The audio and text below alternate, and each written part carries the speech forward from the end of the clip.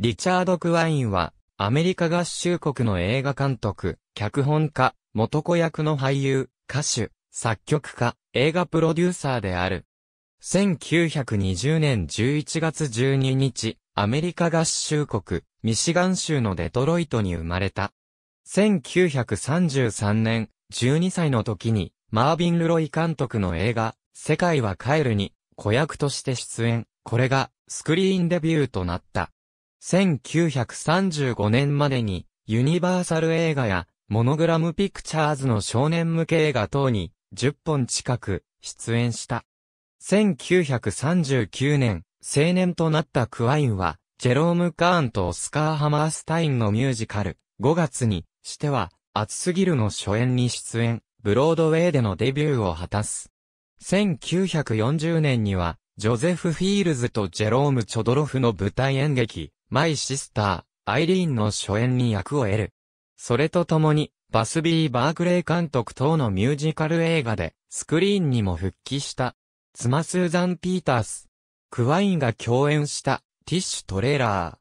ー。1943年、前年に S. シルバン・サイモン監督のティッシュで共演した一歳下の女優スーザン・ピータースと結婚した。第二次世界大戦中はアメリカ沿岸警備隊に従軍した。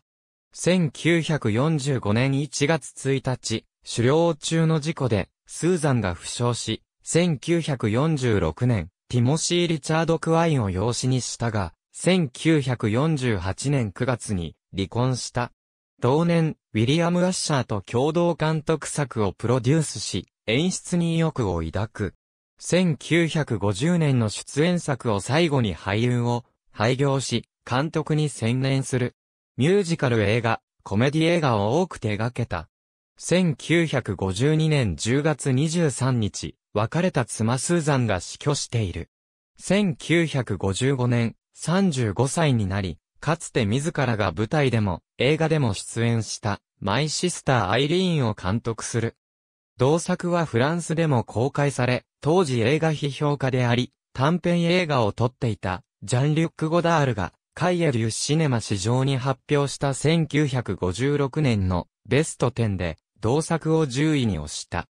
カーク・ダグラスとキム・ノバクが主演した会う時はいつも他人を発表した翌年の1961年全米制作者組合ローレル賞最高監督賞にノミネートされたが賞は逃した。同作品に主演したノバクとは婚約関係になるが、後に解消。1965年、歌手のフランジェ・フリーズと再婚した。